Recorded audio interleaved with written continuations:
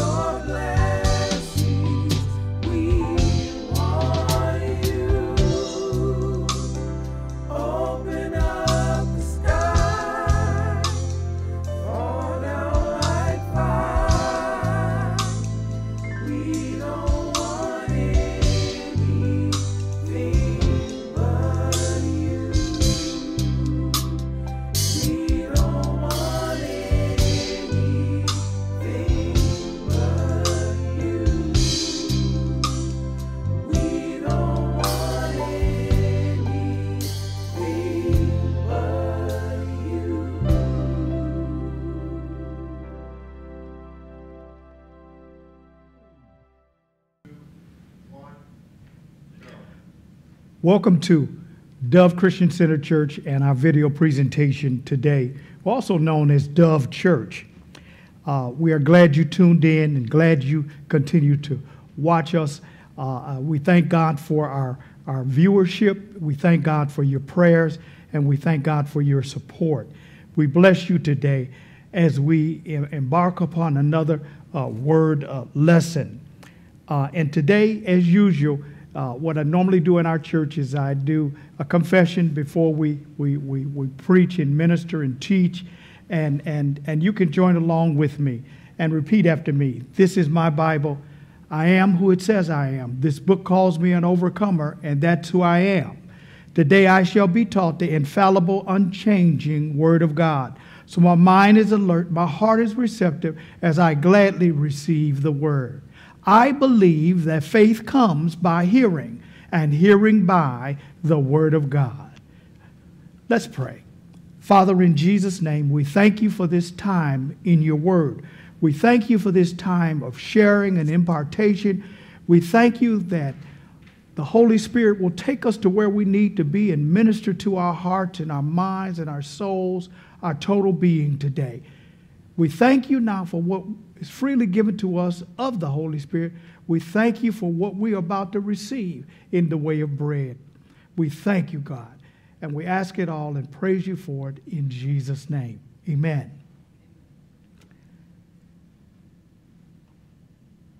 The 23rd Psalm is a beloved and familiar scripture, but there can be a problem with familiar and comfortable passages in the Bible.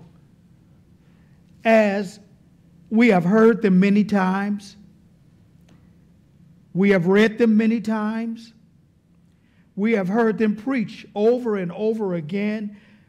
We hear this passage at funerals very often.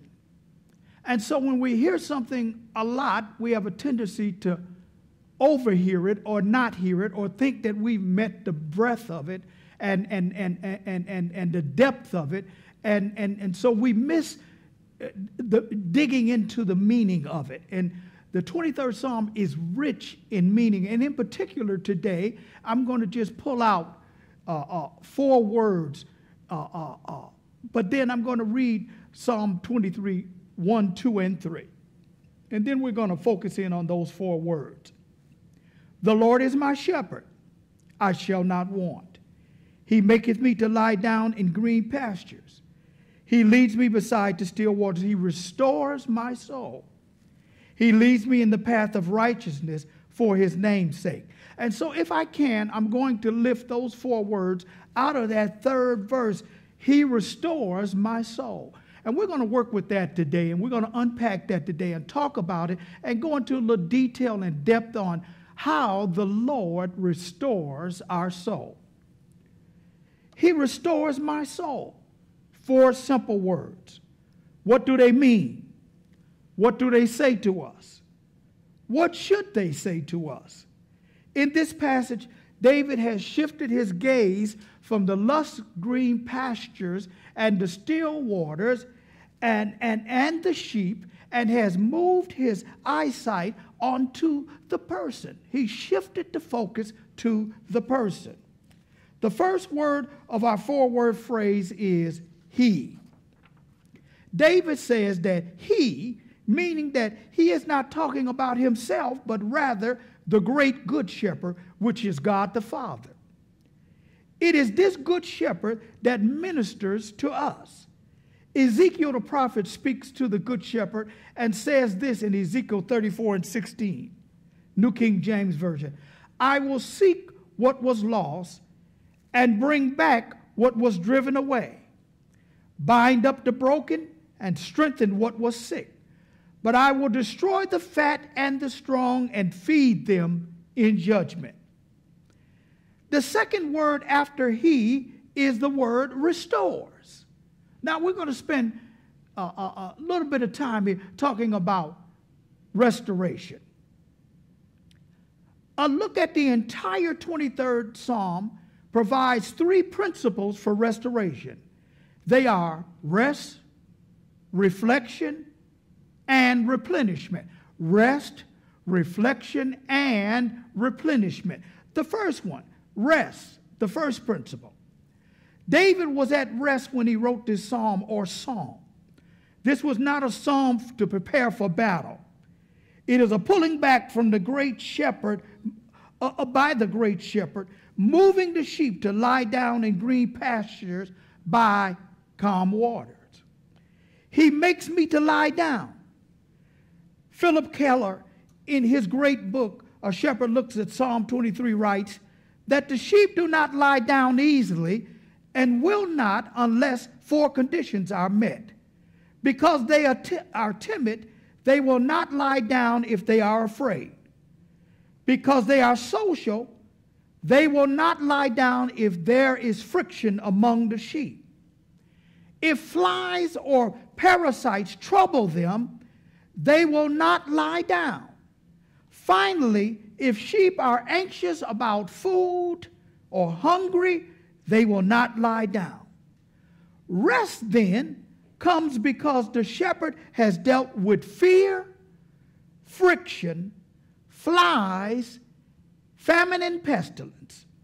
The great shepherd is with us, and he is dealing with all the issues of even our day COVID 19. Exodus 33 and 14 tells us the Lord said, My presence will go with you and I will give you rest. It's good to know that the Lord's presence, the Good Shepherd, is with us and that He is going to go with us wherever we go. We go. We are not alone. B, reflection is the second principle. Restoration involves reflection. David's soul was restored as he looked at life from God's perspective. When you join yourself to the presence of God, He will bring feelings of protection, safety, security, and soundness. It is good to reflect on His past acts towards you. You need to look back and remember where God has brought you from. You need to also remember that God's testimony is sure. He's the same yesterday, today, and forevermore. He changes not. And, and, and he is so sure in his testimony that he's consistent with us. If there's an inconsistency, it is with us, but it's never with God.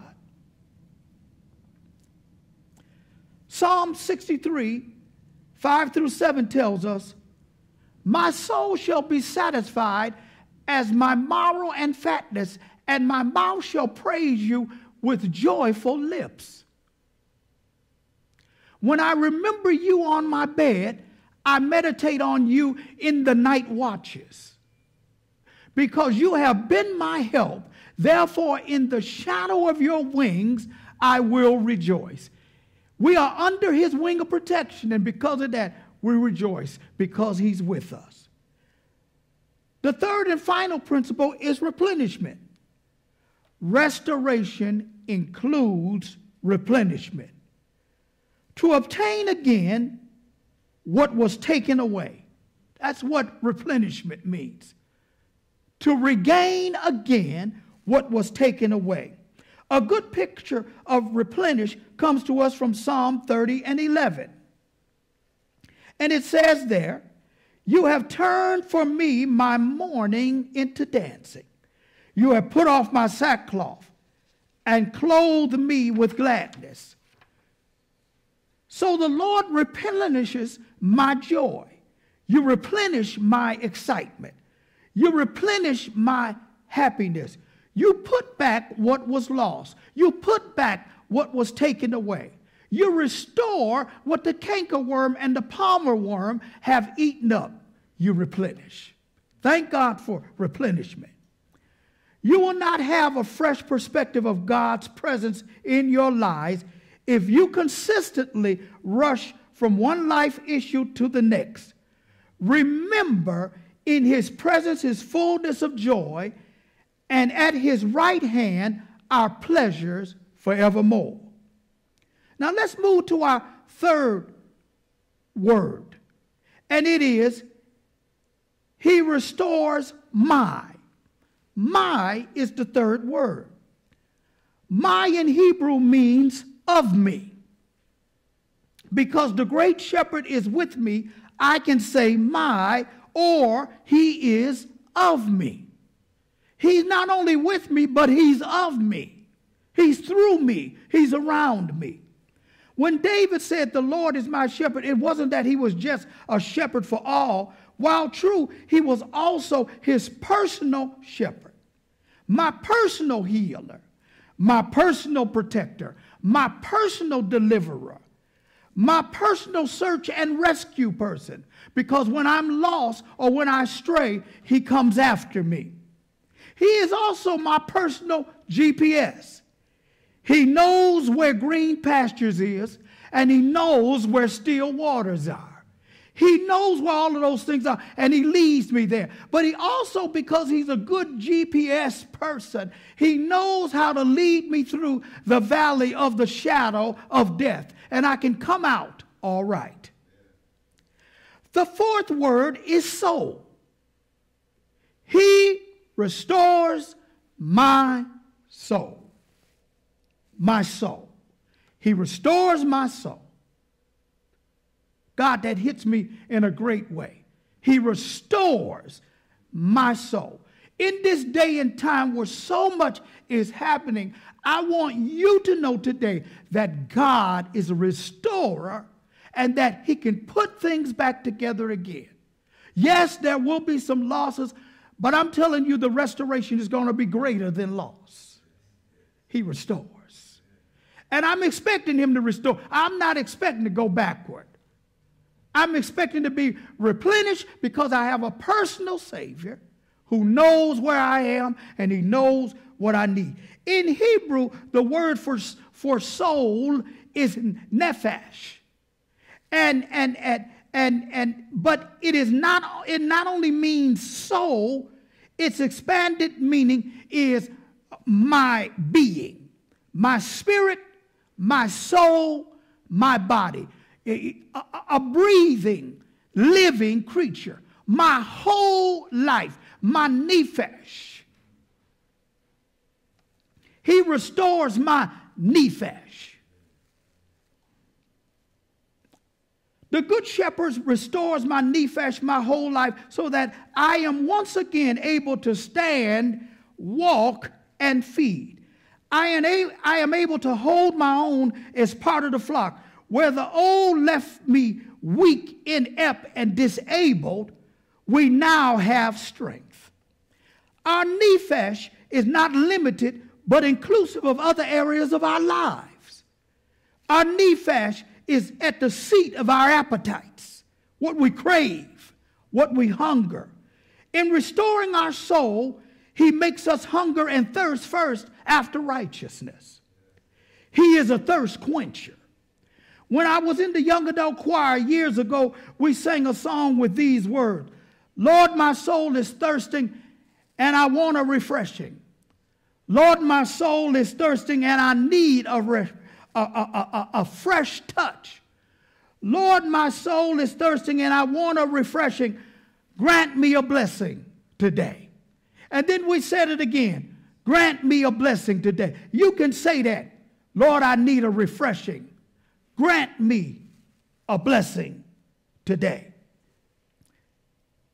Our nephesh is also the seat of our emotions. In restoring our soul, he turns our mourning, our sorrow again into dancing. He removes our, our, our, our grief clothes, our sackcloths of lamentation and distress, and gives us clothing of gladness. And I'm glad to be wearing a new robe of joy today because the Lord is my strength. He's also my joy. And I rejoice in the fact that He is with me. He knows where I am. He's handling everything around me. He is my joy today. He handles my despair. He handles my frustration. He handles my isolation. He handles my desperation and my loneliness. Our nephesh also refers to our mental acts, our thinking and knowing. The good shepherd restores our thinking. And sometimes we may not want to admit it, but our, our, our, our thinking stinks. We think the wrong thing. We think doubt instead of faith. And we confess everything that we see on TV, but we don't believe God for what we read in His Word. So I thank God that as He is restoring my whole life, He restores my thinking to the right place. They are my whole being. Psalm 119 and 130 from the, the Passion Translation says this Break open your word within me until revelation light shines out. Those with open hearts are given insight into your plans. You want my nephesh, God, my whole life to have knowledge of what you are doing in the earth. God, feed me from on high with fresh knowledge of who you are. Holy Spirit, guide me to the knowledge of what God would have me to know in this time. That you love me, that you are my keeper, that you are with me, that you restore my soul. Well, as I come to a close in this brief message, the summation statement is the great shepherd, God, brings me to wholeness through rest, relaxation, and replenishment while developing a personal care plan for me. This care plan will benefit my nephesh or my whole life. I thank you that you care for me, that you have a care plan made just for me. And I'm glad to announce to you again, and this is because I have a personal Savior. He restores my soul. Say that. He restores my soul. He restores my soul. Get ready, the Lord is going to restore you. He's going to put some stuff back. He's going to make it all right. And I'm not dream chasing, I'm not talking about an untruth because God's testimony is right. The Bible says, let every man be a liar and God be the truth. He restores your soul today. And he's going to restore it this day. As you're looking at this, whatever time you tune in, it's going to bless you and you walk around with them four words. He restores my soul. He restores my soul. He restores my soul. Now, I want to give somebody an opportunity to give their life to the Lord. If you heard our message today and you have a witness in your heart, God is touching you right now. Repeat these words after me. Father, in Jesus' name, I come to you repenting of my sin. Today I make Jesus the Lord of my life. I believe in a miracle. I believe that one day Jesus died on a cross. And on that third day morning, he was raised from the dead to the glory of God. On that confession and on that belief, I am saved. We encourage you to, to follow through on the commitment, find a good church to get into, look up Dove Church, find us. We're at 4660 Military Street at the corner of Horatio in Detroit, Michigan. Come and see us. We'll be glad to have you. Blessings to you today.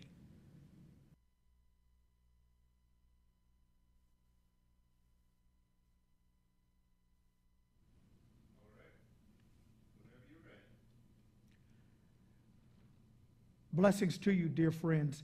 Thank you for joining us in our video presentation and word message. We'd also like to encourage you to assist us in giving by going to our webpage and finding dovechurch.org, going to the giving link that will take you to our PayPal page. And we look forward to your support and your love. Thank you for tuning in. God bless.